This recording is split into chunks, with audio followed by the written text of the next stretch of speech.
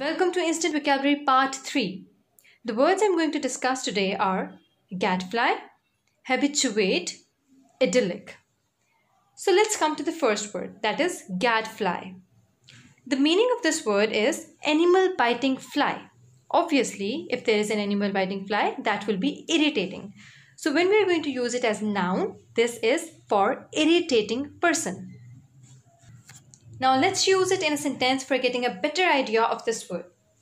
The television commentator is a gadfly whose main purpose is to criticize others.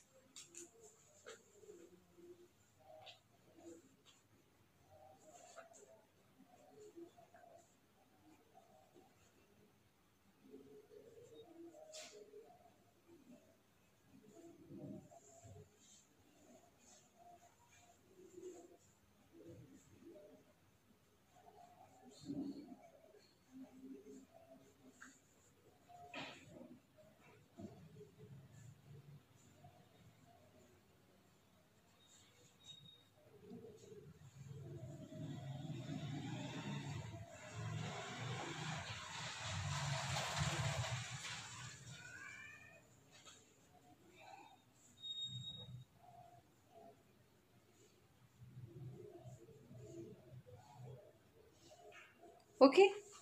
Now the next word is habituate. Habituate meaning is familiarize or addict. We have to use the word familiarize. We can use the word habituate to make our conversation much effective. The sentence is The new pet habituated itself with other pets in no time.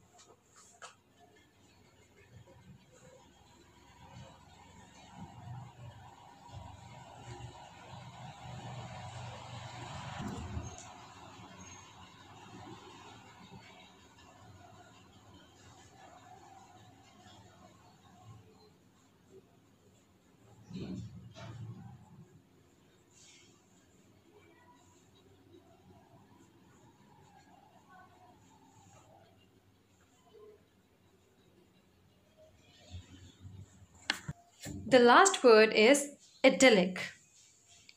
The meaning of this word is charmingly carefree, simple and happy. Now let's use it in a sentence for having a better understanding of it.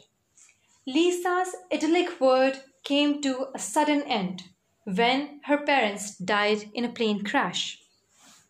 So, you know, she was once a very carefree, simple, and happy girl, but after the death of her uh, parents, she, her life came to an end. So, like, it's her idyllic world came to an end.